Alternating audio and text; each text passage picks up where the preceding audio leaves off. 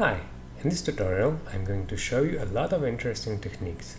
First, we're going to create this little system which copies the trees randomly but is aware of its hierarchy, so we don't get parts that are floating in the air. Later, we're going to finish off with randomizing the color of the trees and creating a terrain so that we get a proper little stylized wood. Also, I strongly recommend you to watch my previous tutorial called Copy Random Objects to Points because we are going to use some of the techniques from this one. I'm very excited to show you this, it's gonna be a lot of fun, so let's get started. Okay, so I started off with creating this little tree and it's basically just a tube with some color and the top one is also just a tube, copied and I made some edits on it, fused the top and also added, added a color. So very simple. Um, and now I'm going to separate it to three parts. First one will be the bottom, then I'll have the middle part, and after that I'll have the top top part. So this is my this will be my top part. So these are all my parts. And now I'm just going to create some grid uh, create a for loop for each point loop. We'll plug in some uh, copy node and create a switch so we can randomly copy some of these objects.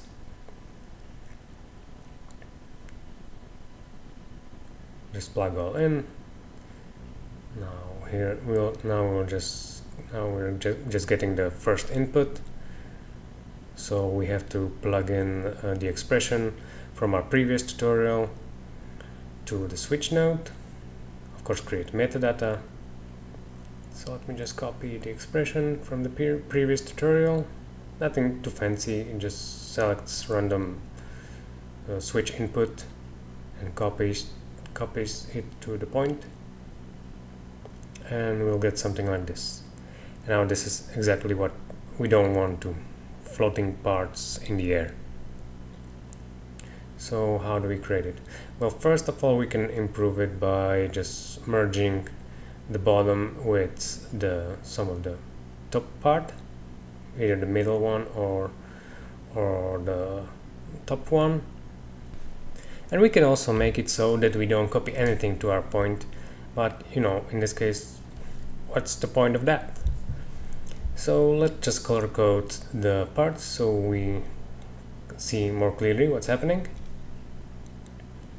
Alright, and, and the solution is actually fairly easy.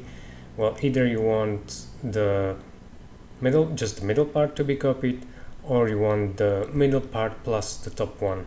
So you'll just merge the middle part with the top one, and if in, in the case we select this option, you know it copies the middle and also the top.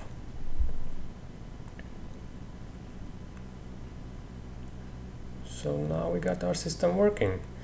And we can also add another option which will be that it won't copy nor the middle part or the top part or the middle and top part. So we can just plug in uh, a null node in there and this will this will do it for us. Like this.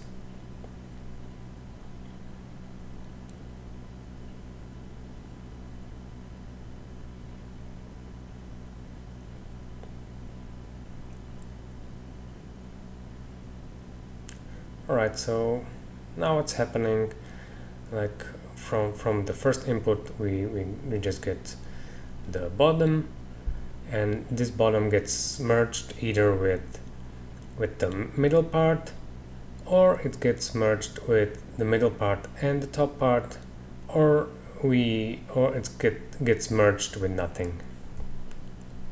And we get this result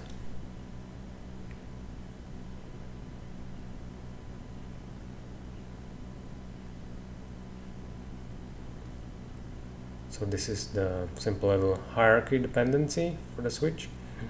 And now we can randomize the scale of our trees. We can do it with uh, some attribute randomize but first let's just scatter the points on the grid.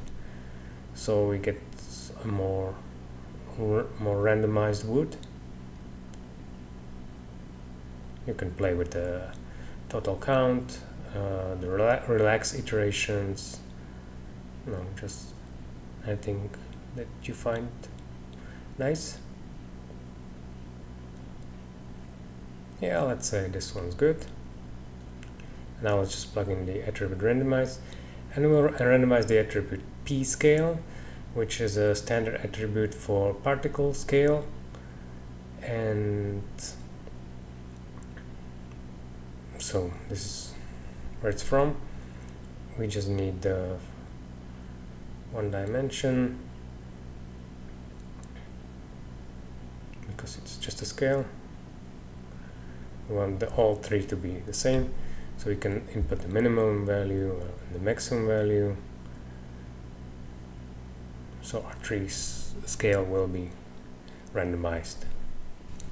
Here's a little trick I got from Rohan Dalvi, who makes awesome tutorials and has a lot of great stuff. If you don't remember your attribute name, you can put in a point sub alt and uh, in the great, great fields you will see the attributes which you want to use.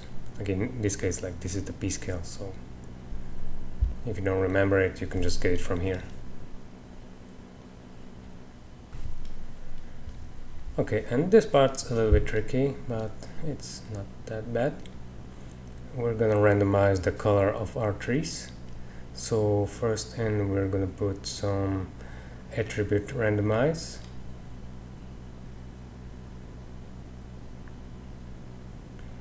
And we want to, well, now we're randomizing point colors. So no, that's not good because we want to randomize the whole color of the whole tree. So if, if you use primitives, you're just gonna randomly call the primitives. So that's also not helpful in this case. We wanna um, randomize the detail, which is the whole tree. And we wanna multiply the value. Set the minimum value. And to multiply a value, first we need to create some. You see we don't have any at this point so we'll just have to replug the color to be first and now we can we can randomize the value. Just put some higher number in here. And also we have to set the color to go to to add to detail not to points. And now you'll see our color gets randomized. So just add the color to detail and then randomize this color attribute on the detail and we'll get a random color. And we'll just copy the, this uh, this expression which creates random attributes based on point number. We're gonna paste it to the seed. So we get a random color per each point. And let's just add some random number and fit the scale, fit the range from 0 to let's say 5000 and nothing's happening. So why is that? If we trace our uh, pipe back, we see at the merge node something's happening and that's because we, on, on the left side we added the color attribute to points and on the right side we added it to to the detail so we have to switch that and now it works but we get one color for the whole object and we don't want that. So let's switch it back to point. And actually now we're gonna promote the attribute from uh, detail to to point. So original class class is detail. I'm, I'm gonna convert it to a point. Now we'll see it works. We just have to set our range properly so here set, set something more reasonable. And we also want to use like the same number for all the channels for RGB so let's just uh, take this option use first dimension parameters for all. So we see this is why it gets uh, weird, weird colors. And now it's better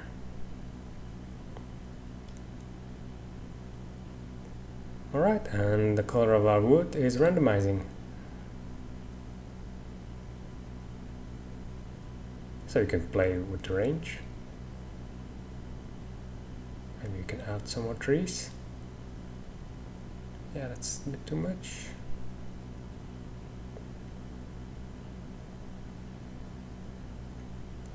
40 is perfect for this example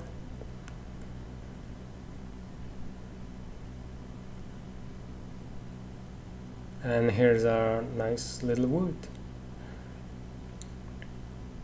We can also um, add the random color to the tree trunks. So we get a little, little more variation.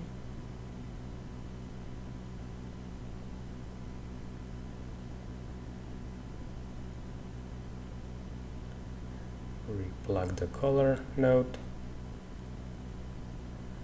plug it all in. And now you can see the trunks are getting randomized. Just tone down the, the range. I need as many randomization.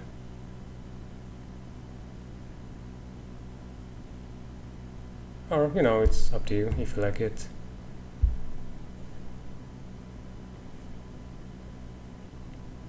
and that's that.